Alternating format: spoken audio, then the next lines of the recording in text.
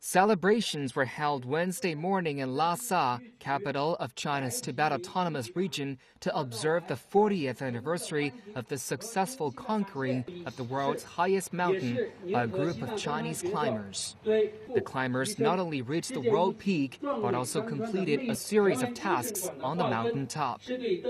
On May the 27th, 1975, a group of nine Chinese climbers conquered Mount Qomolangma after which they completed a number of tasks, including topographic surveying and building a new stairway.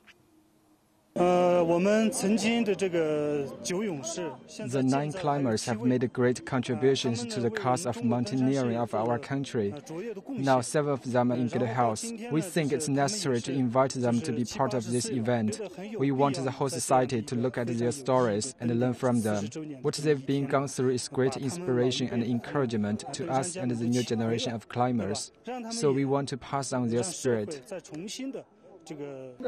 70 year old Sog was a member of the team. He and other team members worked together to build the new stairway on the north side of Mount Qomolangma.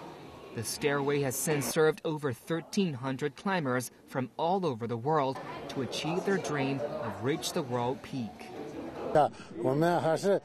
I'm so excited and happy today. 40 years have passed. It was really tough and our equipment was not good enough. But we made it, all of us. It was the second time that Chinese climbing team had conquered the Mount Qomolangma.